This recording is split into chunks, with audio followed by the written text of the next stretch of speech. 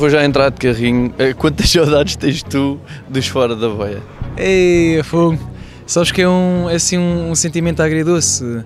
A banda Fora da Boia ensinou muitas coisas, mas sinto que estava na altura de fazer algo sozinho há muito tempo que eu queria e já há muito tempo que a própria banda também já devia sentir isso há algum tempo, eh, sendo vocalista, sendo guitarrista e compositor, que já era na banda. É óbvio que um dia iria ganhar asas, mas o que eu tenho saudades é daquela época, né? que era tudo tão inocente, era tudo, era tudo a primeira vez, era tudo novidade, tocar num bar, uh, todo podre, sem condições nenhumas, nós tínhamos de carregar o nosso próprio material.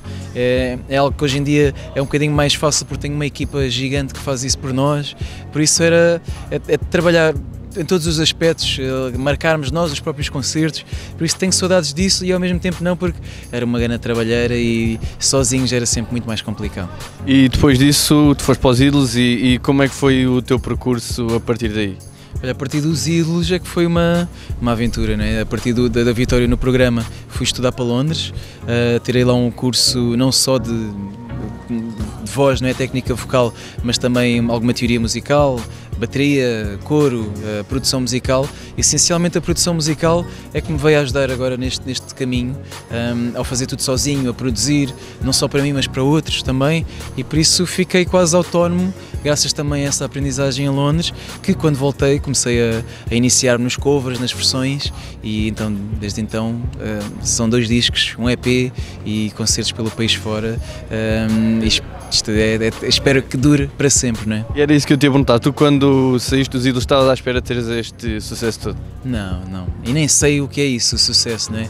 Se é isto ou se ainda há algo mais reservado. Por isso, tenho, tenho sempre algum cuidado com as palavras, porque hum, não, não, não, sabemos quando é que podemos ir ao fundo ou quando é que podemos estar no topo.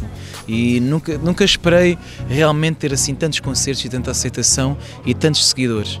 E hum, metade do sucesso é, sem dúvida, graças às pessoas que partilham a minha música, uh, continuam a apoiar-me, a enviar-me mensagens. essa é, é, a grande razão pelo qual eu tenho algum sucesso.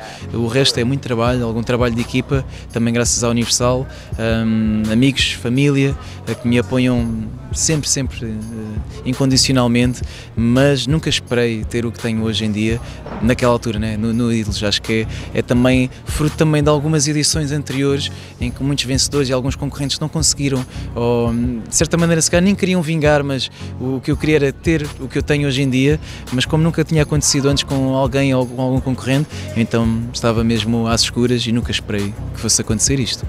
E quais é que foram as tuas maiores dificuldades para neste percurso todo? Acima de tudo, eh, encontrar um estilo, eh, encontrar aquele primeiro cartão de visita. Acho que as pessoas estavam, não sei o que é que estavam à espera e por isso mesmo é que é difícil.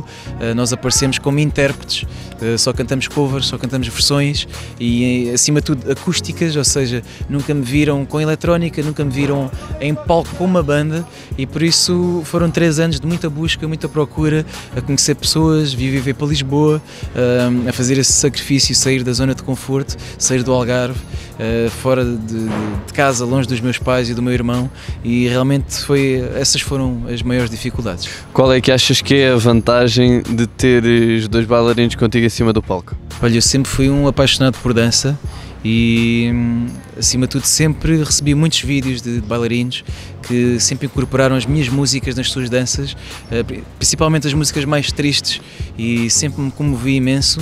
Um, o, exemplo, melhor exemplo disso foi até num, próprio, num programa que eu acho que sabes dançar, em que usaram a minha música Tu e Eu, e então aí é que foi se calhar um grande boom para também dar alguma força a alguns bailarinos a usarem mais as minhas músicas, mas sem exceção, sempre, todas as músicas, sempre tive bailarinos a dançá-las e é, é muito bom ver a música ir para outra arte, uh, as minhas letras serem interpretadas por movimentos, por, pelo corpo e é, é sempre um grande complemento e eu fico sempre apaixonado porque eu não sei dançar, acho que sou muito fraco e por isso fico sempre surpreendido com, com as coisas que muitos fãs fazem e agradeço por, por isso.